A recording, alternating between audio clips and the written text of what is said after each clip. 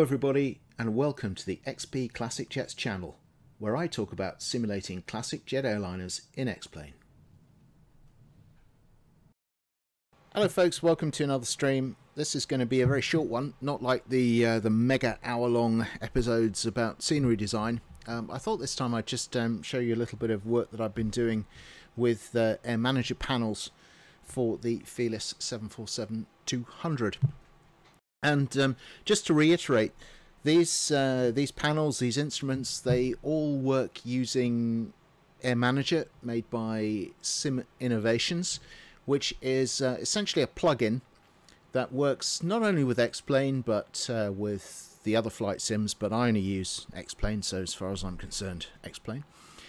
And essentially, what it does is it takes data out of X-Plane, data in the form of data refs and you can throw those data refs around a network um, wherever you want them and then Air Manager will take those data refs and based upon whatever coding you have uh, you've done for instrumentations it will then allow you to present that data those data refs in the form of instruments and panels.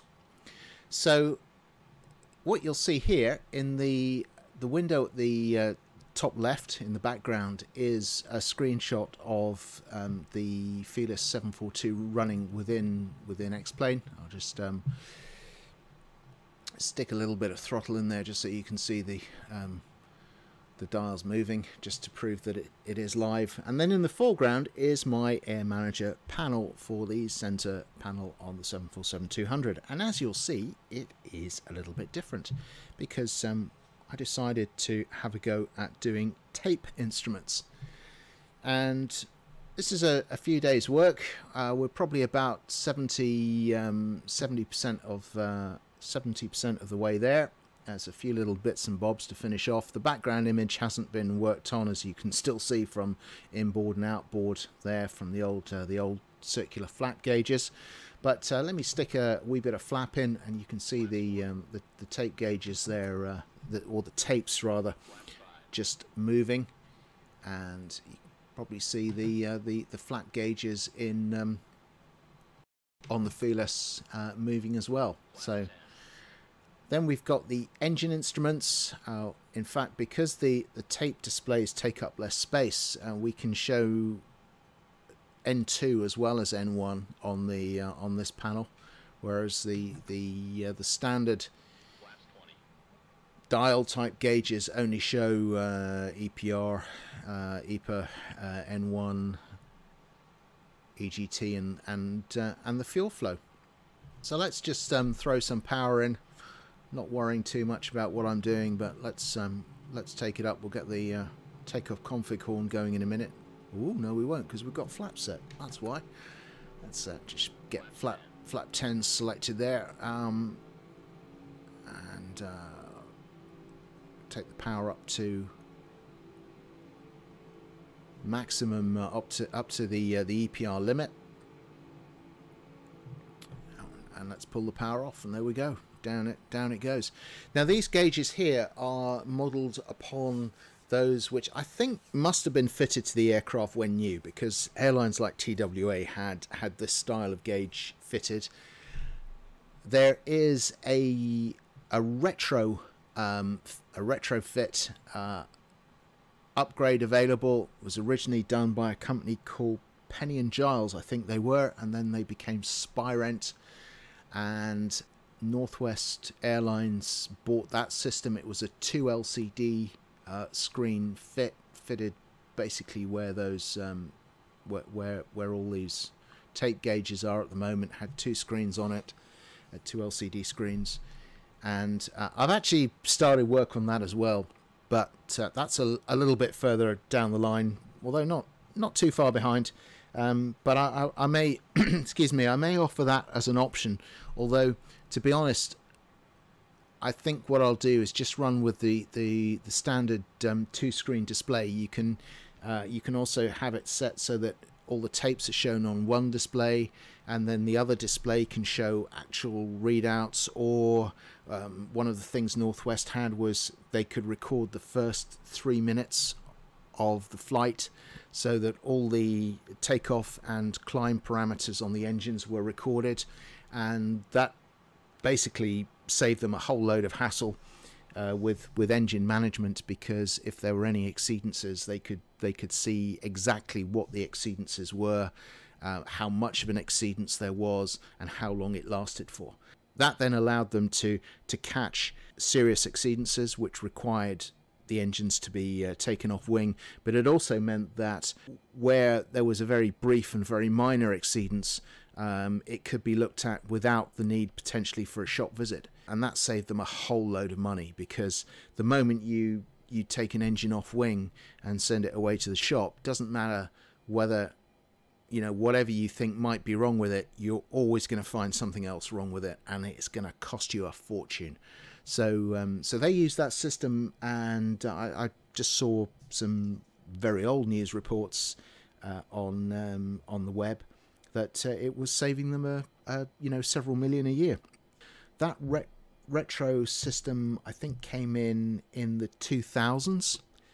Uh, but certainly this style, this tape style that that uh, that you can see here, it was around in the 70s, and TWA had it in the 70s A couple of interesting points I'll just mention before I before I go. Th- these are unfinished. The EPR gauge in particular is unfinished. Uh, I've been thinking about this. There are a couple of different styles of display. Um, some which have the commanded EPR limit um, shown on the gauge itself, and the um, the manual EPR set knob then in in the center one of the things with the Felis does is Felis, I believe, um, only only allows you to set EPR limits versus the thrust computer. So if I just change the um, that there, that's to um, max continuous, max climb, max cruise, and go around.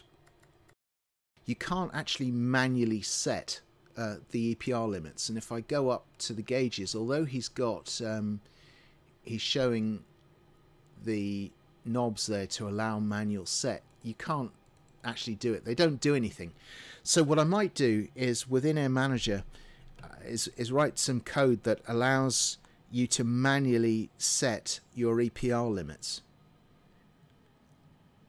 Yeah, I, I, oh, I don't know. I, I, I might do that and then and, and then we can get this functioning a little bit more as it as it should do.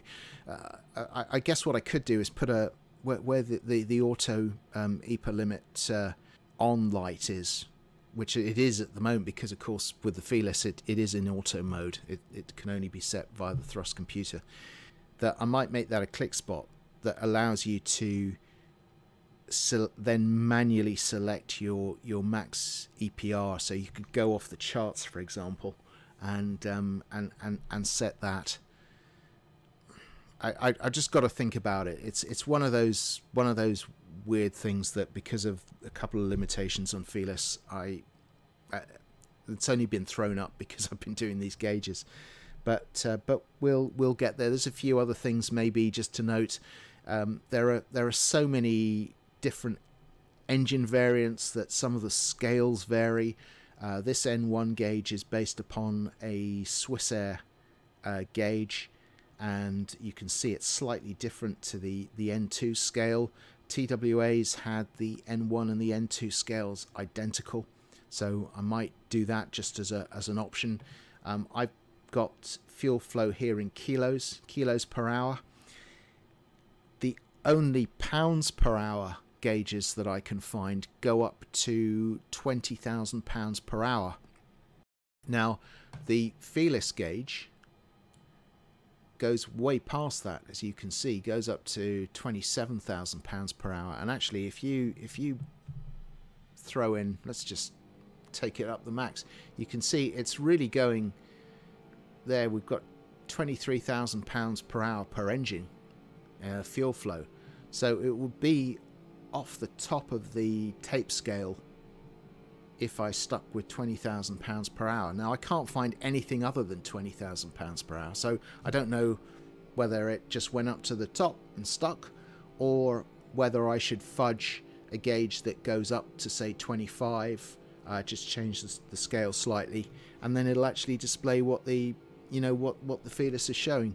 So again just a, another little little weird thing then night lighting stuff like that I've got to add that in and just make a few tweaks and and um, uh, change the color of the bezels I'll get those to more to match the um, the the flat display here but uh, it's coming along quite nicely and I, I think it's it's really quite a quite a nice change. One of the things that that I actually found quite useful in practice is that it's very very easy to see if there's a change in um, engine operating parameters on, on on an engine.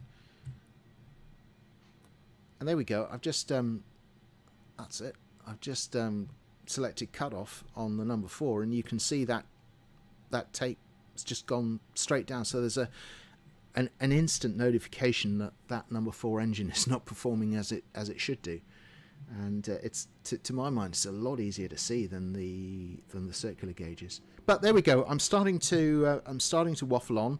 I I hope that within a week or so or two weeks uh, I'll have I'll have this to the stage where I'm where I'm happy with it to to release it and anyone who's uh, already bought the the 747-200 panels. Thank you very much for doing so. I hope you're enjoying them. Um, I'll make these available to you so that you've got uh, yet more options to expand expand your cockpit. And then when the Penny and Giles uh, displays come up, and actually I'll, I'll, I'll show you a quick screenshot of that uh, of that working. But when the Penny and Giles screens are finished, I'll make them available as well. Right, that's it for now. Um, thank you very much hope uh, hope you've enjoyed this, and um, hopefully we'll uh, we'll see you again soon. Thank you very much. Thanks for watching. Cheers. Bye.